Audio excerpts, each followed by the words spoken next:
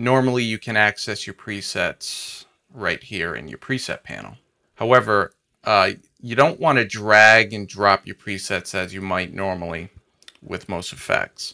Uh, because what it's going to do is create a duplicate control panel and the functions are not going to work.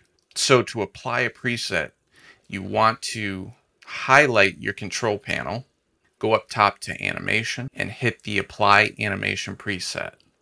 You're going to go into your disruption presets and select whatever preset you choose and hit open. And that's how you're going to apply your disruption presets.